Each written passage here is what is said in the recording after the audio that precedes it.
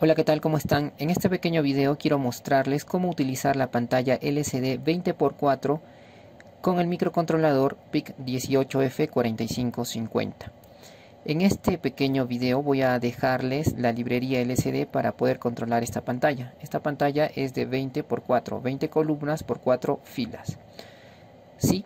Bueno, lo interesante de esta librería es que vamos a poder utilizarla en cualquier microcontrolador PIC y también vamos a poder cambiar el puerto a donde tenemos conectada la pantalla. En este caso yo estoy utilizando el puerto D, pero podría cambiarlo por el puerto B, por el puerto A o por el puerto C. Eso va a depender de la aplicación de nuestro microcontrolador. Entonces, eh, aquí está la programación en MPLAB X, ¿sí? estoy utilizando el compilador XC8 y aquí tenemos la librería.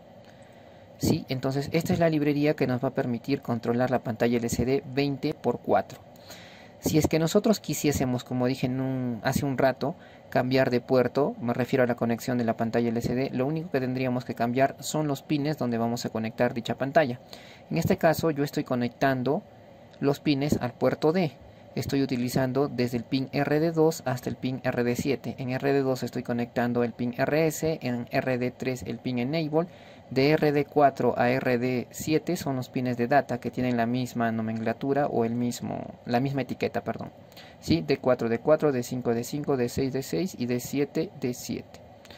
Como les comentaba, si es que ustedes desean cambiar los pines, simplemente aquí el registro LAT tendría que ser cambiado. En este caso el registro LAT es el D. Si quisiese conectar al puerto B, tendría que poner LAT B y dirigirme aquí al pin específico. Por ejemplo, LB1, ¿no? Y aquí LB2, LB3 y así podría cambiar cada uno de los pines, tanto de control como los pines de datos, ¿sí? Los de control recordemos que son el RS y el Enable, mientras que los de datos son desde RD4 hasta RD7. Si es que vamos a cambiar los registros LAT, obviamente tenemos que cambiar los registros TRIS asociados, ¿sí? ya que los registros TRIS van a determinar si es que estos pines van a ser configurados como entradas o salidas digitales. Como les decía, si voy a elegir trabajar con el puerto B, aquí tendré que elegir el registro B y por ende cada uno de los pines del registro B.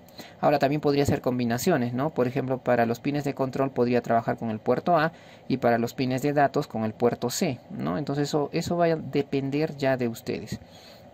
De todas formas yo les voy a dejar la librería en la descripción del video, así como este pequeño ejemplo en el cual estoy mostrando los mensajes que el primero es mi canal, luego el PIC con el que estoy trabajando, la librería 20x4. Esta librería funciona para XC8 en MPLAB X y dos valores, ¿no? un valor entero y un valor decimal, así como se ve aquí en Proteus.